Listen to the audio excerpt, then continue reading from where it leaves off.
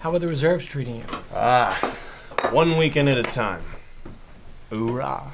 Well, It's so great to see you, Michael. Well, I couldn't miss Sarah's big day, so. Smart ass. You came for Mama's food. Sarah, watch your mouth. well, how you doing now?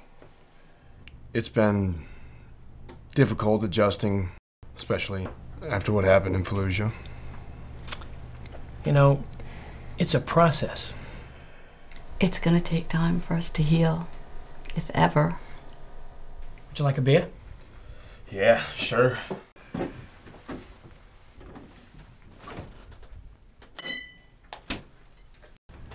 I think I want to do more than just go to college. What are you talking about? I don't even know what major I want to be.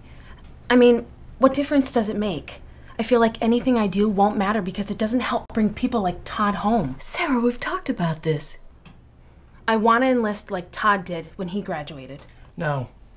You're going to college, Sarah. Sit down.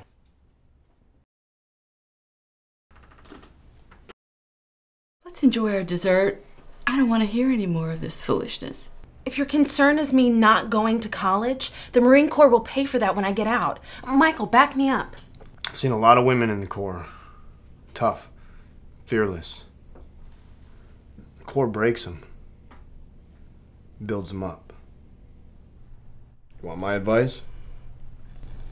I'm not sure. Your family. You're the perfect person to talk to Sarah about joining the Corps. I've made up my mind. This is something I really feel is calling me. I don't remember you giving Todd such a hard time when he said he wanted to join. I will not lose another child to this bullshit war. Michael, do you want to go to a grad party with me? All my friends will be there, and you can listen to them talk about college dorms and majors and help me decide what I want to be when I grow up. Well, as tempting as that may sound, I think it'd be a little weird for an old guy to be hanging out at a high school party. Old guy. Come with me.